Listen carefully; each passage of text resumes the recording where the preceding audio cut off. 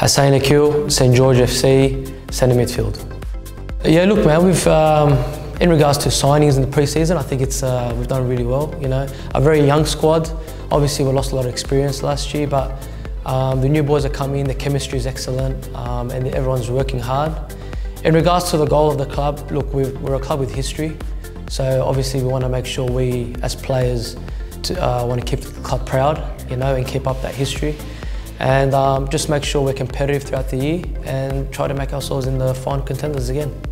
Yeah, look, I personally think this is going to be the hardest NPL2 year thus far. Um, we've got teams like Bonnyrigg coming in.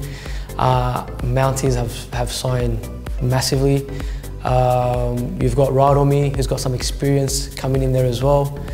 Um, so a, there are a few clubs that are going to be fighting for the final contenders, and obviously you can't brush off Northern Tigers who are always up there and, and battling for that top position in semi-final football.